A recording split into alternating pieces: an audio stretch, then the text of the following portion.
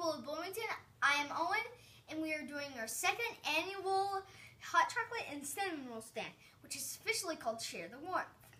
This I am Owen. This is Connor and Zach. We are selling hot chocolate and cinnamon rolls. To, and all proceeds will go to the Shalom Center to keep them warm all winter. It starts at 8.30 on Saturday at 3504 South Allendale Drive. Merry Christmas!